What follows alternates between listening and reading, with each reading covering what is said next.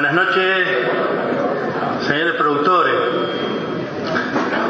eh, señores gremialistas, autoridades, señor presidente actual y el que está ingresando y la nueva directiva. Muchas gracias por la invitación.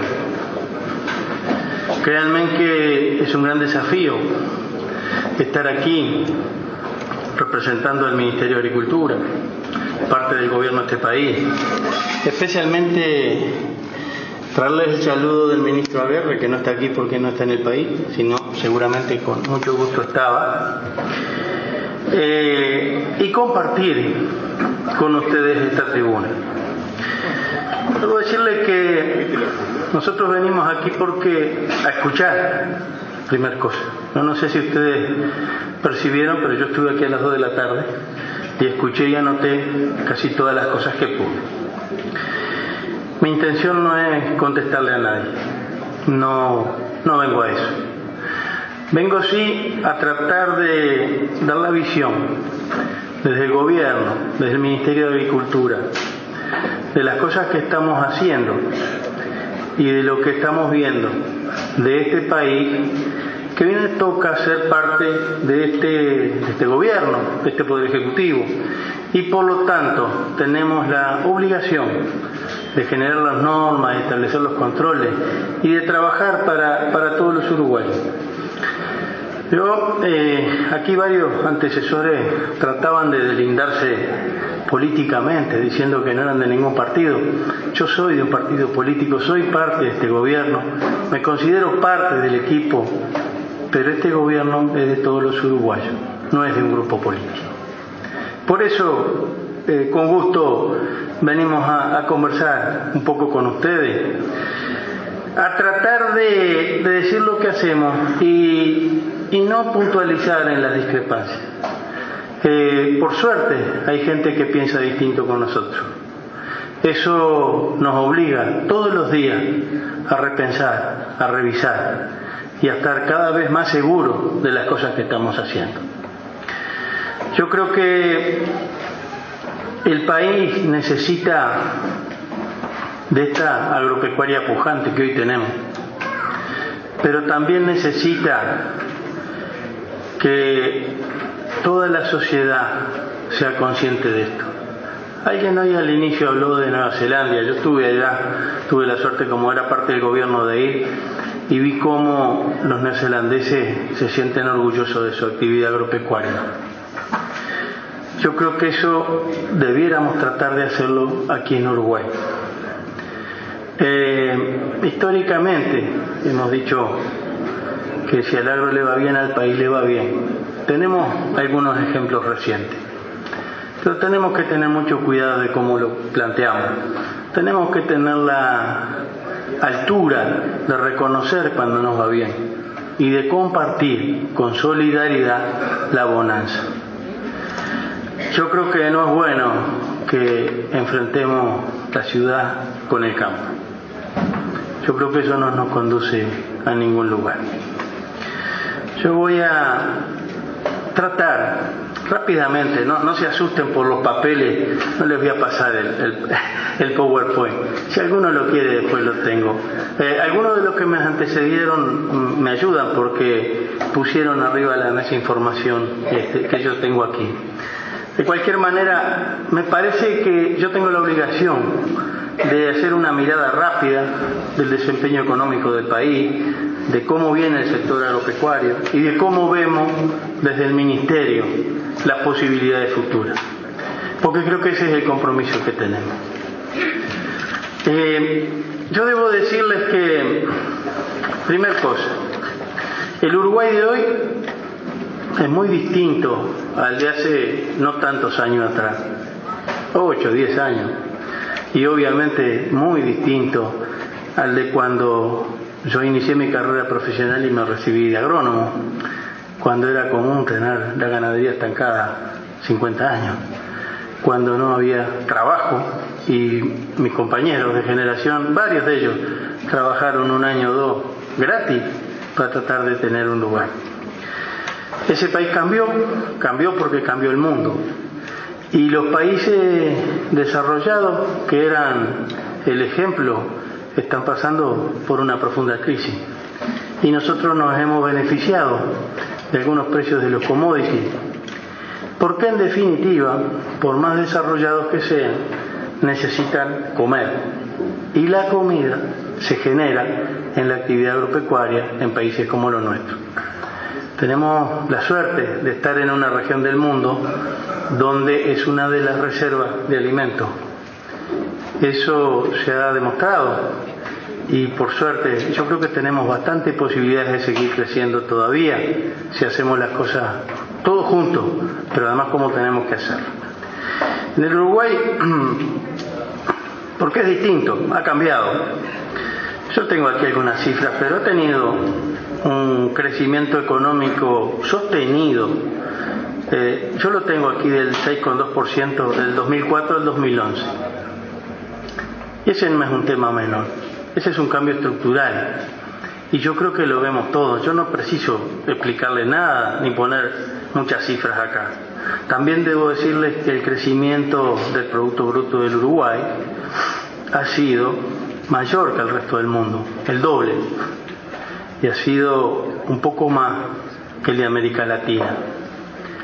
Y eso no es casualidad, porque la bonanza de los precios no fue solo para Uruguay, fue para el mundo, fue para la región.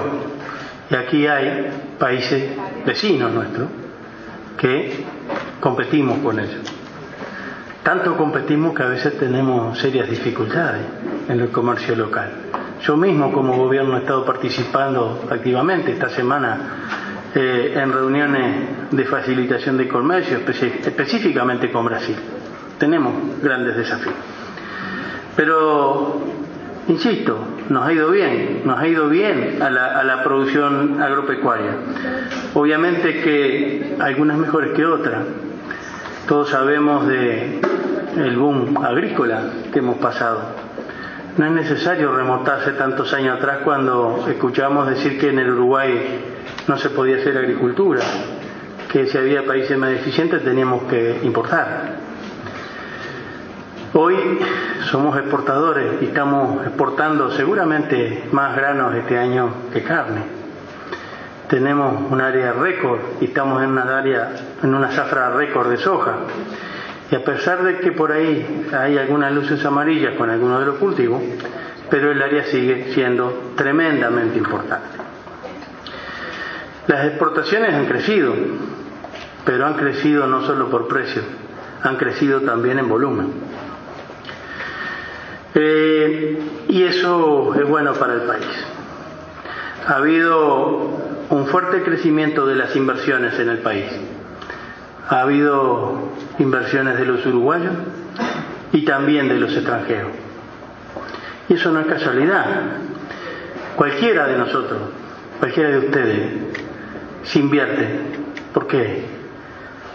Porque piensa que va a tener un resultado mejor, porque cree en el respeto de las normas. Por eso vienen los inversores extranjeros. Cuando un inversor viene aquí, a este pequeño país, obviamente tiene muchos lugares para elegir en el mundo. Sin embargo, yo conozco unos cuantos que vienen aquí. Creo que eso es bueno. Creo que hay que cuidarlo.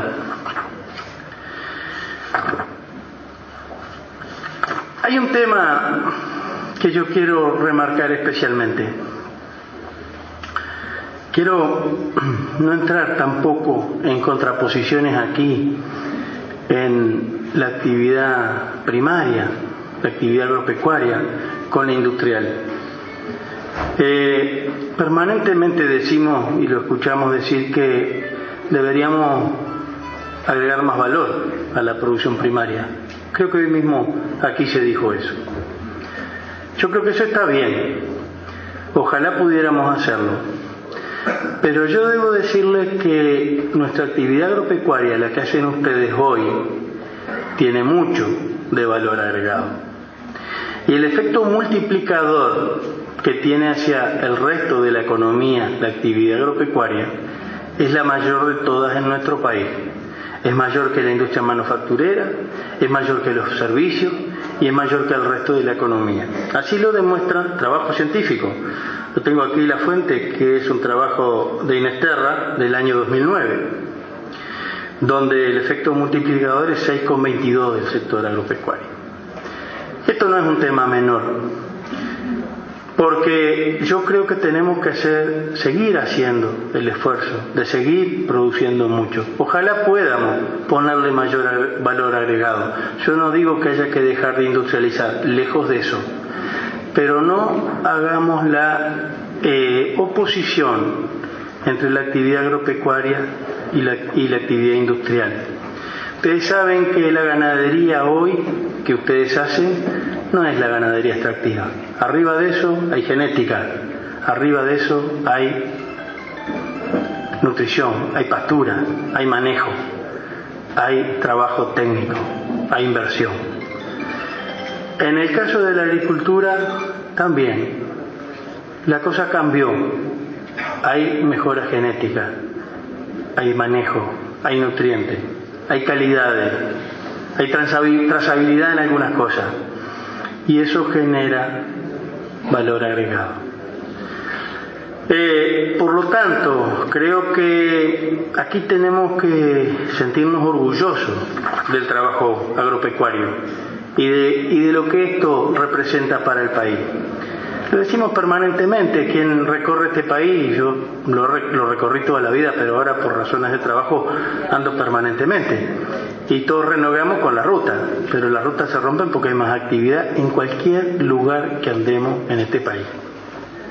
Hay menos desocupación, hay más trabajo. Y eso es el motor de eso, en su gran medida, es el sector agropecuario. Y eso le ha hecho mucho bien al país. Sin duda que hemos podido pagar unas cuantas cuentas con eso. Eh, desde el gobierno hemos trabajado bastante y capaz que tenemos que hacer más todavía. Eh, y ese es el desafío. No sé si podremos y si hay otro que lo haga mejor, es con mucho gusto. Pero la diversificación de mercados, atender nuevos mercados. Hay ejemplos concretos. En la carne se han abierto mercados, muchos. Corea es el último, nos falta Japón, pero estamos vendiendo a los precios topes en el mundo. Y eso no es casualidad, eso es trabajo. Es un trabajo integrado entre los productores, entre el gobierno, entre cosas que ustedes remarcaron como muy importantes y que estamos de acuerdo, la sanidad animal, el ejemplo de la trazabilidad, un tema que ha estado en congresos anteriores como el de ustedes y que hoy no estaba. La verdad que yo me alegro, yo pienso que eso es porque está marchando un poquito mejor. Le falta más, pero hemos avanzado y somos ejemplo para el mundo de estas cosas. También debo decir que esta pelea es desigual, porque hemos hecho mucho esfuerzo. Eh, el ejemplo de China es uno, de ellos, reciente. Eh, se estaba viendo allí la carne que se estaba vendiendo en China. Pero hay algunos países que se dicen muy liberales, pero muy lindo en el discurso, pero cuando queremos venderle no es tan sencillo. El ejemplo es Estados Unidos es la carne ovina o hueso, que hace tiempo que se viene peleando, es la citricultura, que recuerdo porque estoy más cerca, hace 18 años que venimos trabajando. Y a nuestro juicio no nos queda más ningún requisito que tengamos que cumplir. Pero el mercado no está abierto y estoy hablando del país más liberal del mundo. Entonces hay países que son liberales eh, para otras cosas, pero cuando queremos ingresar a esos mercados se dificulta. Y eso, allá ellos, están defendiendo su trabajo y su, y sus ciudadanos. La obligación nuestra es al revés, es, defender los nuestros, es tratar de conquistar esos mercados, es tratar de cumplir con los requisitos que nos piden. Por eso es tremendamente importante el, desarrollo tecnológico, la apuesta a la innovación, el estar permanentemente desafiando. Eh, Han pasado en este tiempo cosas tremendamente importantes y que están también en estos ámbitos permanentemente en agenda. ¿Qué me refiero? Valor de la tierra. Por suerte ha subido y subió mucho. Y muchos de los que, están, que tienen un pedazo de tierra, este, bienvenido. Yo creo que eso ha sido una palanca importante para hacer este cambio tecnológico de incremento de productividad. Yo no puedo menos que recordar que en este proceso mucha gente habla ahora de que en el último censo se fueron muchos pequeños productores del campo. Y sí, es cierto, esos son los números. Yo creo que unos cuantos se fueron buscando mejores alternativas que por suerte tiene el país. Pero yo debo recordar y no hace tantos años, porque yo fui productor rural y muchas veces estuve sentado del otro lado, cuando en congresos como este el tema, recuerdo claro, el eslogan era rentabilidad o muerte, porque no había rentabilidad. Yo fui productor rural y por cada lechero, recuerdo claramente que por cada litro de leche que producía, eh, me costaban 11 centavos de dólar y la vendíamos a 9 centavos de dólar. Por suerte, esa situación quedó atrás, pero no fue gratis, mucha gente quedó por el camino. Por eso creo que tenemos que, de vuelta, ser solidarios y ser justos con esto. Tenemos que acordarnos de lo que nos pasó para tratar de mirar lejos y de que esto no nos vuelva a pasar si podemos. Debemos aprender de las lecciones aprendidas, de las lecciones pasadas. Estamos en un país distinto, por suerte. Eh, sin duda que para todo este proceso los precios de las exportaciones nos favorecieron mucho, muchísimo, digamos bien, pero creo que mal o bien y esto no es mérito solo del gobierno, porque también ustedes han dado respuesta a esto, a la suba de precios. Esos tres millones de terneros que se mostraban ahí no son casualidad. Cambió el país. He visto varios productores, criadores, que hoy se preocupan mucho por el ternero y hace unos años atrás no se preocupaban porque era igual de negocio, igual era bueno vendiendo la vaca gorda si la vaca estaba fallada. Pero creo que esos son cambios estructurales que yo espero que seamos capaces de mantener. Tenemos eh, seguramente desafíos por delante. No son sencillos. Tenemos incremento de costos. Yo no les voy a negar el tema cambiario, por supuesto que no. Pero seamos justos, el negocio todavía sigue siendo rentable. Por algo ustedes siguen invirtiendo, por algo siguen viniendo los inversores. Que tenemos que tener cuidado, que tenemos que trabajar juntos, sí, es cierto, yo creo que es lo mejor que podemos hacer. Desde el gobierno algunas cosas hemos hecho. Eh, la, la la promoción de las inversiones a través del decreto reglamentario de, la ley de inversiones no es un tema menor. Yo tengo aquí la cifra y desde el 2008 al 2012 hubieron proyectos por 6.374 millones de dólares de inversiones promovidas. Y de eso, el 38%, 2.427, casi el 40%, son canalizadas al sector agropecuario y agroindustrial. Esto es una definición política importante. Esto es una de las cosas que explica, en parte, no sé cuánto, pero que a, que en este país invierta. Porque esta es una definición de que aquí queremos que los empresarios vengan a instalarse y arriesguen ustedes mismos. Seguramente faltan más cosas, pero esto es, a mi juicio, un buen indicador. Del punto de vista de la productividad, la superficie agrícola desde el 2001 al 2012 subió 3,6 veces. Es fácil de ver, ¿no? 1.200.000 hectáreas de soja, 400, 450.000 hectáreas de trigo y demás. Pero la producción subió 4,2 veces. ¿Qué quiere decir esto? Incremento de productividad, más kilos por hectárea. A pesar de que tenemos muchos desafíos por delante. También pasó lo mismo con la, con la carne. La carne tiene menos área, porque entre los árboles y la agricultura le quedó menos superficie, pero la producción de carne se incrementó. Eh, pasamos en el año 90 de 60 kilos de carne equivalente a 90 kilos en el presente. Esas no son cifras menores, porque disminuimos la superficie de 14,3 millones de hectáreas a 13,1 millones de hectáreas. Y eso es parte de lo que marca la mejora del país. Con el mismo territorio producimos mucho más y lo vendemos bastante más caro.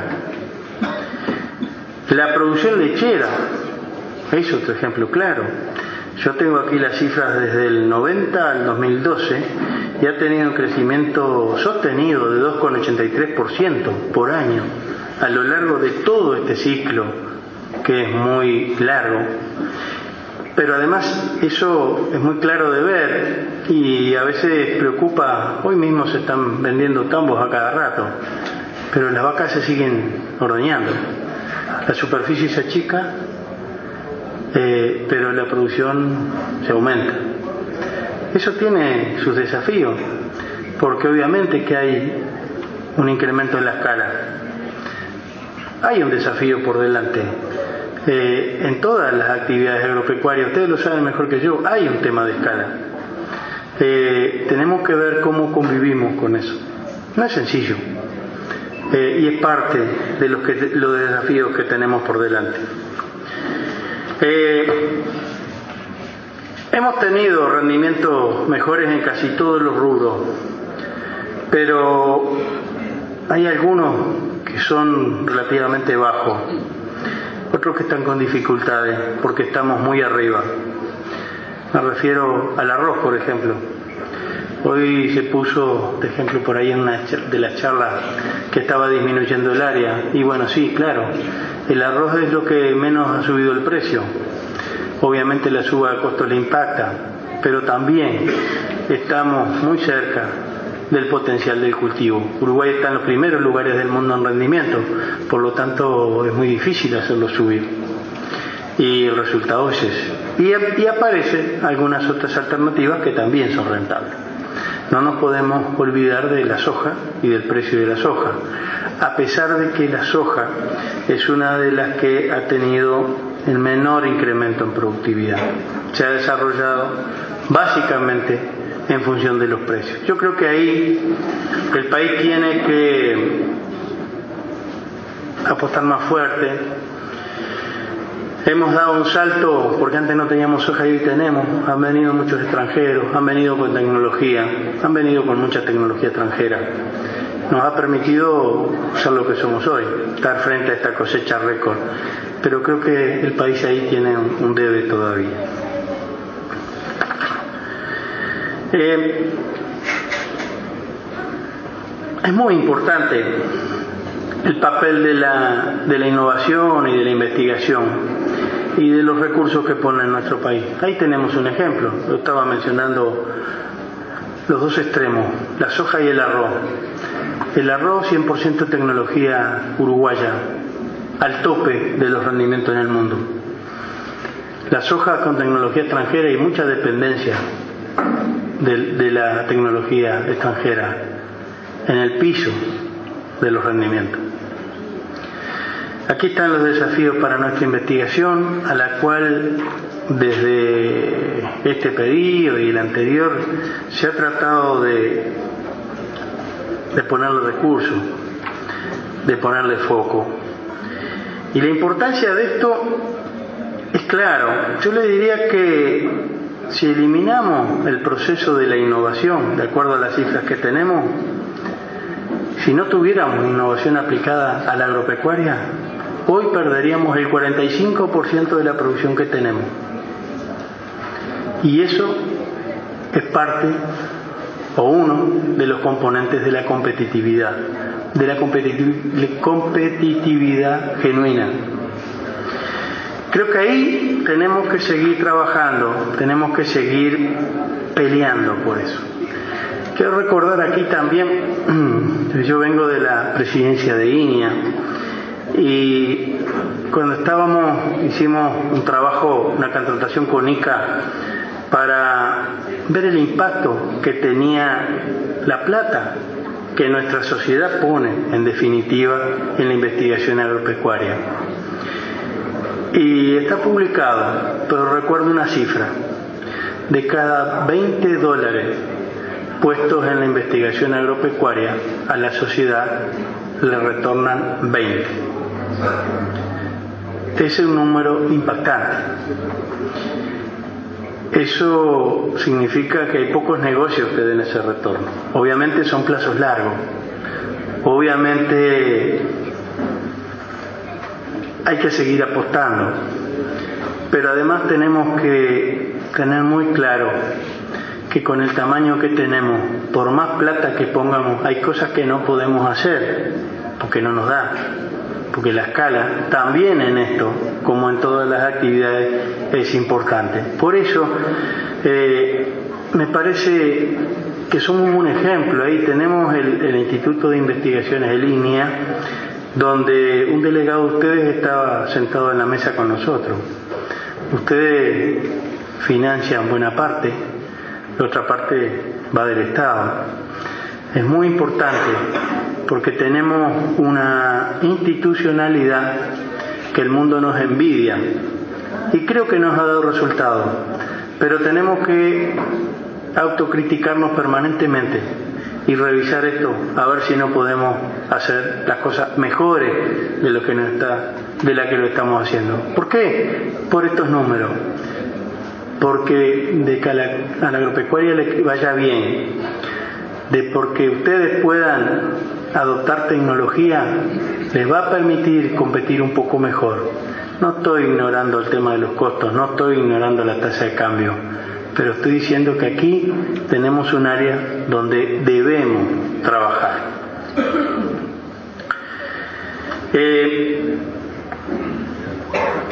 yo creo que al país ha ido bien también porque además de esta situación de, bonanza del país y del sector agropecuario, que yo creo es clave, se ha repartido la riqueza generada. Y no es casualidad.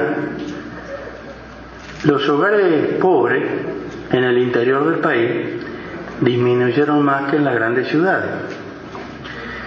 Eh, eso también es una situación para alegrarnos.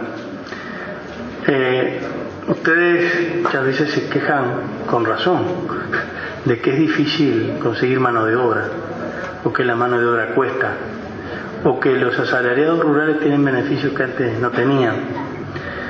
¿Saben qué?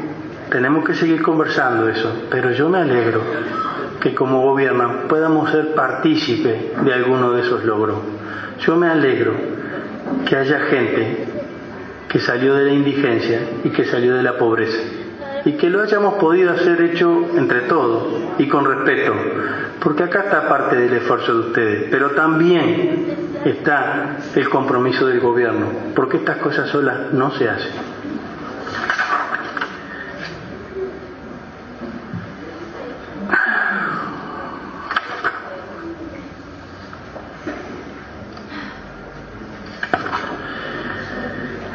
Tenemos cuantos desafíos.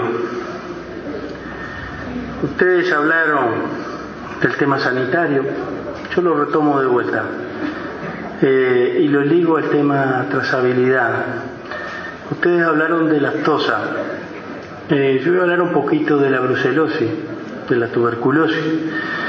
Son problemas serios que traemos. Hemos con tratados de expertos internacionales. En el caso de la brucelosis tenemos menor prevalencia, cada vez tenemos que buscar un poco más para encontrar algún positivo, pero ahí tenemos que redoblar el esfuerzo porque el, objetivo es erradicarla.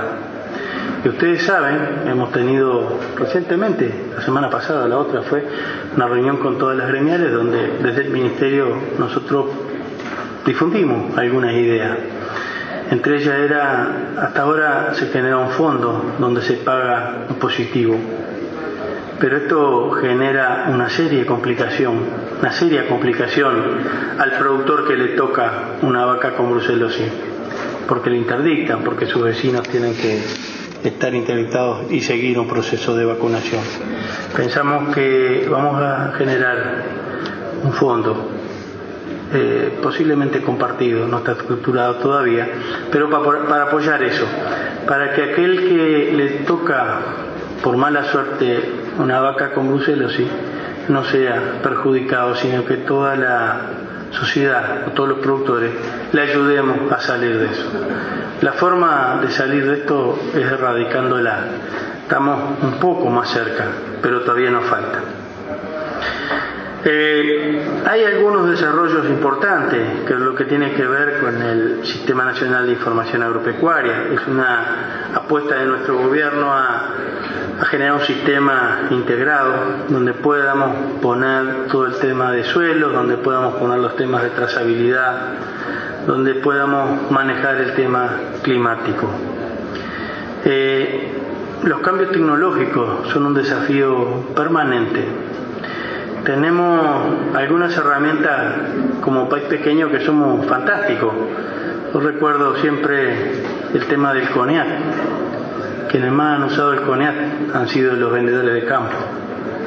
Creemos que hoy el desafío es usar eso y algunas herramientas más que nos ayuden a usar el suelo de acuerdo a su capacidad de uso. Y eso Capaz que en el corto plazo a alguien lo perjudica un poco, capaz que es un sacudón, pero creo que es la responsabilidad que tenemos que asumir para las generaciones que vienen.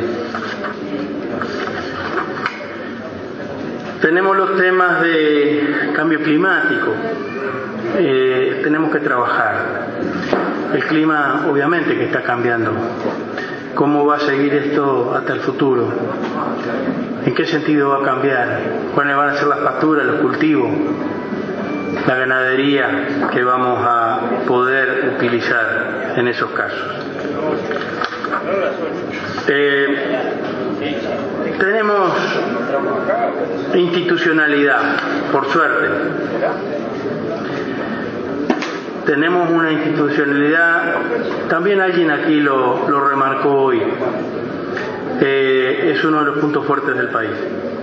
No solo las instituciones, sino las leyes y el respeto a las leyes. A veces renegamos porque tenemos demasiadas leyes, pero el tema no es solo tenerlas, sino cumplirlas.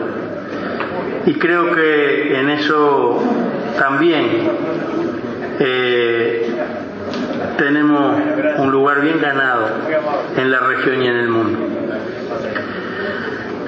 Eh, algunas cosas concretas que tienen que ver con las cosas que estamos haciendo hacia adelante. Yo recién hablaba de nuestros recursos naturales. Ustedes saben que de este ministerio, de lo que nos ha tocado, el plan de uso y manejo de suelo ha sido una bandera. Eh, gastamos dos años en hablar con las empresas, con los técnicos, tratando de motivarlos para esto. El periodo de convicción pasó, vino el de la obligación de presentar planes. Hoy puedo decirle que tenemos 3.791 planes de cultivos de invierno y 495.138 hectáreas. Créanme que para nosotros la verdad, es una alegría y es un gran desafío. ¿Qué quiere decir aquí que el área de invierno está?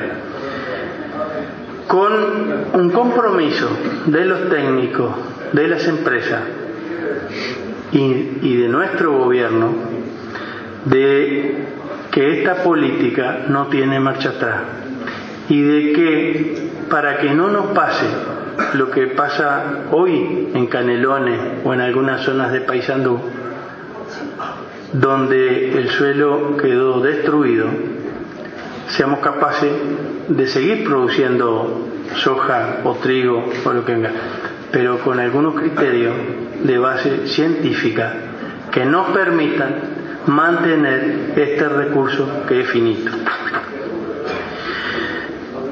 Eh, yo dije que no iba a contestar y no lo voy a hacer, pero no tengo más remedio que hablar del tema tributario, porque es un tema que permanentemente aparece. Eh, aquí hubo una reforma tributaria, un criterio, hubo ahora un cambio. Eh, se puede discutir, pero hay una posición del Poder Ejecutivo acá. Pero también hay una situación, la presión tributaria que tiene Uruguay, y lo mostraron mis antecesores, que yo no pensé que le iban a mostrar. Yo tengo las cifras acá y son bastante coincidentes con las de ellos. La de Uruguay es menor que Argentina, que Brasil. Y en unos casos mucho menor. Yo sé que a, nosotros, a ninguno nos gusta pagar impuestos, a mí tampoco. Pero creo que de vuelta tenemos que ser solidarios y tenemos que ser sinceros en nuestro planteo. Nosotros tenemos una necesidad sentida, eh, ustedes lo dijeron, todo el tema de infraestructura. Bueno, alguien tiene que pagarlo. Este impuesto que se ha puesto tiene ese objetivo. Tiene también una cuota aparte que va hacia la UTEC. Otra necesidad sentida tiene que ver con la formación y la capacitación de la gente, especialmente en el interior del país. Pero también debo decirle, esto, este impuesto nuevo, estamos hablando del patrimonio, es un impuesto que no lo van a pagar todos, lo van a pagar los que tienen más lo van a pagar, no sé exactamente, 1.200, 1.300. No, no me interesa tampoco entrar en esa discusión, no conduce a ningún lugar. Creo que esto eh, está en la línea de que pague más el que tiene más. Y nosotros compartimos eso. Eh, Hoy se mencionó durante el día varias veces el, ideario artiguista y lo que Artigas decía. Y Artigas también decía que los más infelices sean los más privilegiados. Esa es una posición de nuestro gobierno, pero con respeto. No, yo no quiero polemizar con esto, pero tengamos cuidado, que hay mucha gente que se pone a la defensiva, pero que no va a pagar este impuesto porque no llega a los topes. No quiero hacer juicio de valores, porque esto es una posición del gobierno, que obviamente nosotros firmamos como Ministerio de Agricultura. Yo debo decir también que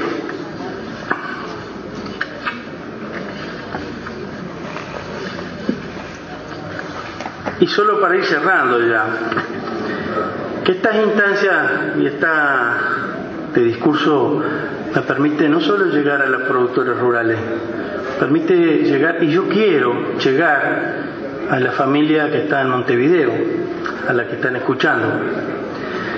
Eh, yo fui productor rural también y a mí me duele mucho cuando desde otro lugar, ¿a qué hablaron ustedes de discriminación hacia el agro, del sector político? A veces nos pasa, pero muchas veces pasa porque quien está del otro lado o quien está en la ciudad no conoce de cuál es la actividad agropecuaria. Y muchas veces nosotros, y ustedes, y hoy acá, yo les puedo poner ejemplos, no los voy a poner. Yo les acabo de decir, y lo puedo demostrar porque tengo la cifra, que al sector agropecuario le va bien y al país le va bien porque al sector agropecuario le va bien. Pero cuando ustedes me ponen un título, el desafío para poder sobrevivir, Es duro para uno que está mirando del otro lado y que no sabe o no conoce cómo es la actividad agropecuaria. Porque, insisto, esto también es parte de nuestro desafío. Yo toda la vida he estado del lado del, sector agropecuario. Creo que tenemos que surcir mucho entre el campo y la ciudad para que en este país, que somos apenas tres millones y poquito de habitantes, y que vivimos de esto, seamos capaces de remar juntos, de tirar todo para el mismo lado. Si eh, permanentemente estamos criticando o llorando, logramos cosas que a veces no queremos. Nosotros criticamos que los jóvenes se vayan del campo, que se van a la ciudad.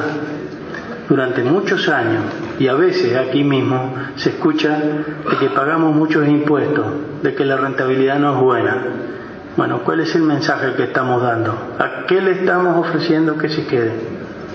Y asumo el compromiso. También desde el gobierno tenemos que hacerlo. Yo no tengo más que agradecerle la oportunidad a ustedes y ponerme a disposición para trabajar un poco más con ustedes. Siempre se puede hacer una vuelta más. Yo no les pido que piensen igual que nosotros, al revés, les pido que piensen distinto, porque de esa forma ustedes nos ayudan todos los días. Yo asumo personalmente el compromiso de redoblar el esfuerzo, de venir todas las veces que ustedes quieran, de reunirme con, con todos ustedes cuando quieran, pero entiendan que tenemos que gobernar para todo el país. No es sencillo. A veces el diagnóstico es más fácil, llevarlo a la práctica es más difícil. Pero cuenten con nosotros, para eso estamos. Muchas gracias.